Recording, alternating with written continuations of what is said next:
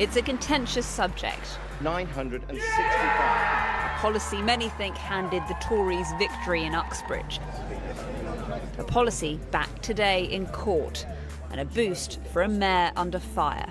From the end of August, we can make greater progress in cleaning up the air in outer uh, London. The decision to expand ULEZ uh, was a difficult one for me to take. Uh, it wasn't taken lightly. OK, but you're at odds with the Labour leadership on this. Keir Starmer immediately after what happened in Uxbridge said that there needs to be a rethink there. Well, it was a hard decision. Uh, and hard to, to, go against Keir Starmer on this. Well, it was a hard decision for, for, for me to make. Get Khan out! Get Khan out! The High Court today backed the expansion of the ultra low emission zone, costing people in outer London £12.50 a day to drive certain vehicles throwing out the cases of five Conservative councils. Do you not accept that difficult decisions need to be made? This is short term pain for the long term bigger mission of cleaning up London. But it's short term pain for the poorest motorists. First of all, it's the wrong time to do it. When everyone is going through one of the biggest cost of living crises in our lifetime, to introduce an extra charge onto people at this moment is wrong. I also think he could give people more notice. Both the introduction of ULEZ and the expansion had much more notice, so people were able to plan properly, and similar views aren't hard to find in Uxbridge, where ULEZ was weaponised at the ballot box by the government. There's enough going on at the moment with the cost of living and prices, and it's just not fair. I don't think that's the way to do it. I don't think it'll make any difference because people have to go about their business. Or in Barnet, a borough with one of the highest numbers of pollution related deaths. It's always hitting the man in the street, isn't it? Um, and we've all got enough to pay out at the moment. £12.50, you said? That's a lot of money. ULEZ and its impact on the by-election in Uxbridge have turned into something much bigger. The government this week have hinted at watering down environmental policies. That tension between the green agenda and the cost of living has already turned into an election battleground. In an open letter to Rishi Sunak, the Green Alliance said politicians shouldn't use the environment as a political football. That may have already happened.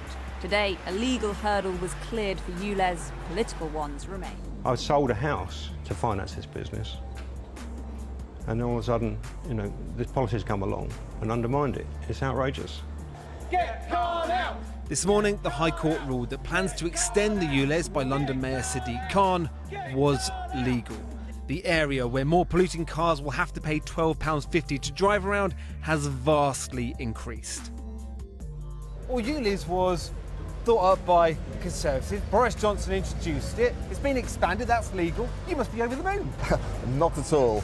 And but it's one of your let, policies. No, it's your party this, policy. Let, us put it this way. No, it doesn't look after my residents because it's the poorest that hit, are hit the most. It is the doctors, the teachers, the nurses, the social workers that can't get into work. They're going to be charged £12.50 a day. Ah, oh, hi Kelly. I'm Rishi. Very nice to see you. Rishi Sunak celebrating in Uxbridge last week, saved from the humiliation of three by-election losses, many believe by ULEZ. So a key issue, within the M25 at least. The question for many, all those who don't live in or anywhere near London is, well, why should I care about ULEZ, a policy about air quality in the capital? But since last week's by-election in Uxbridge, there has been a conflation by some politicians of this one air quality policy and all climate change issues under a broad green banner. Both the Conservatives and Labour are trying to wrestle with how they maintain their expensive green credentials during a cost of living crisis, all of which will be judged by the entire nation at a fast approaching general election. According to pollsters, though, when it comes to green initiatives, the public is broadly on board, and that's across all age groups and all locations. Well, I think those MPs would be a mistake if they think turning green issues into the next frontier of the culture war would be beneficial to them. I think the British public want to signal that they are progressive and on board with these things. Most of them are. I don't think there's a huge amount of appetite for sort of saying that it's all woke nonsense.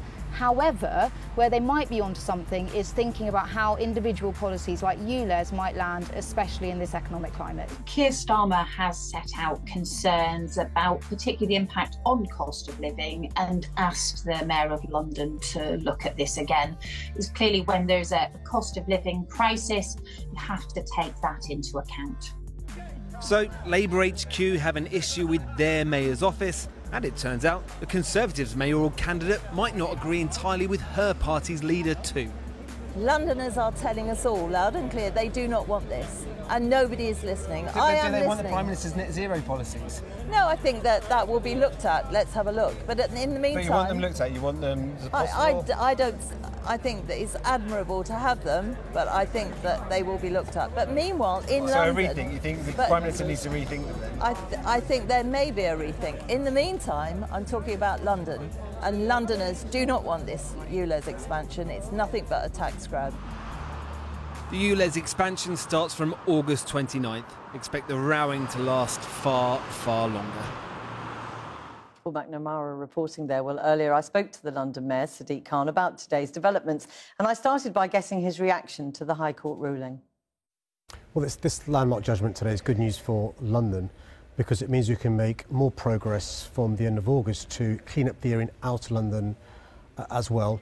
Look, the decision to expand the ultra emission zone wasn't an easy one for me to make. It was a difficult one, but it's vital and essential to clean up the air in our city. We know that every year there's around 4,000 premature deaths linked with air pollution. We know there are children with stunted lungs forever and adults with a whole host of health issues from asthma to cancer, dementia to heart disease. But I'm listening. I've been listening for the last few uh, months. From next week, there'll be additional support to Londoners. Uh, almost a million families in London who receive child benefit will be eligible next week for further support.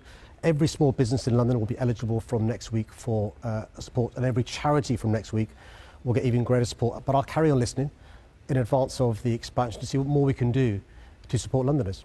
I mean, the question is, in terms of going ahead, will it go ahead on the same timetable as planned? As you say, a very difficult decision.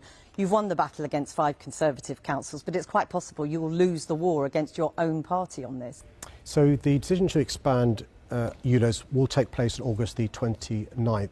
On exactly the same timetable as planned? But we'll, but we'll be providing more support to, to, to Londoners' uh, families, uh, to businesses and to charities, and we'll carry on listening to Londoners who may need more support. I mean, with respect, the Labour leader came out as soon as the Uxbridge by-election result was announced and said there was no doubt that your plan cost the Labour Party the by-election. What was it like being thrown directly under the bus by your own party leader? Well, these decisions are difficult decisions. Uh, they're not taken lightly to expand the ultra-low uh, emission zone, but they're important, vital uh, decisions. But he thinks it's the wrong decision now. That's the truth, isn't it? Well, well look, when you're mayor, you've got to make these difficult uh, uh, decisions, and, and, the decision to expand ULEZ wasn't one I took uh, lightly, but it's important to recognise the public health crisis there is in uh, uh, London. It's important not to undermine and diminish the evidence, which is around 4,000 premature deaths a year directly linked with air quality.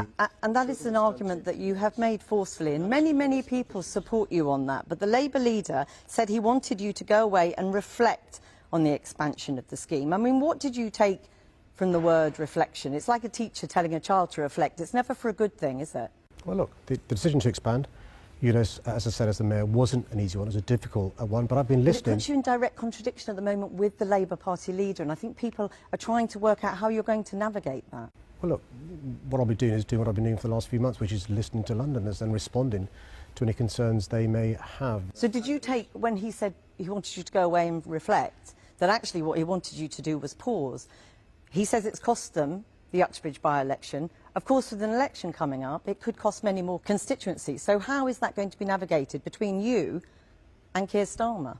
So what we know already is that inner London, uh, 96% of cars are already compliant. In outer London, uh, 9 out of 10 cars are, uh, compliant. So the good news is uh, those uh, vehicle owners aren't going to pay a penny more from August the 29th. We'll see the benefits. But the even better news is those who may have non-compliant vehicles will get even more support from next week. And I'll carry on listening to Londoners and respond to the concerns they have. I suppose what I'm trying to get at, and sorry to interrupt you, when you talk about listening to Londoners, are you talking about pausing this? Because Keir Starmer categorically, the minute the election results were out, said your ULEZ expansion plan was to blame. Angela Rayner, Rachel Reeves, all saying this may not be the right time to go ahead with expansion.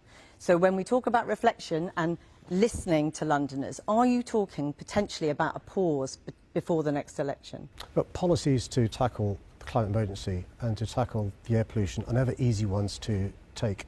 They're difficult ones to uh, take. They're not taken uh, lightly. But I'll carry on listening to uh, Londoners. Carry, I'll carry on responding. Sorry, Mr. Khan, but, but does listening mean that potentially this will be paused before the next election? Uh, the High Court decision means uh, that the expansion of uh, ULEZ can take place and will take place on August the uh, 29th. It's essential that we address the air pollution crisis in our city, the public health crisis in our city. And we know ULEZ works. How do we know it works? Because in central London, we managed to reduce the toxic air by almost 50%. Uh, a third fewer children being admitted to hospital because of uh, air pollution attributable uh, uh, diseases. In inner London, a further reduction of 21%. Uh, but in outer London, which is where the ULEZ will be expanded, we know is the worst quality. Most of, of the motors here fall foul of London's ultra-low emission zone rules, and the cars in this garage come in red, blue. You might have trouble finding anything green though. Most of the motors here fall foul of London's ultra-low emission zone rules, and customers Colin's been dealing with for decades have been driven away. Once a week I have a conversation with a customer saying I'm, I'm, not, I'm not spending money on the car, it's got to go, I'm not paying the ULEZ. But this policy is being ratcheted up, extended, and at precisely the wrong time if you are hoping to soon sell up and retire. I would imagine the business is worth half what it was a year ago. That's a bitter pill to swallow. Never mind swallow, you choke on it. You don't know, how I lie awake at night wondering what, you know, what the future holds for me now. I sold a house to finance this business. And all of a sudden, you know, this policy's come along and undermined it. It's outrageous. Get Khan out! This morning, the High Court ruled that plans to extend the ULEZ by London Mayor Sadiq Khan was legal.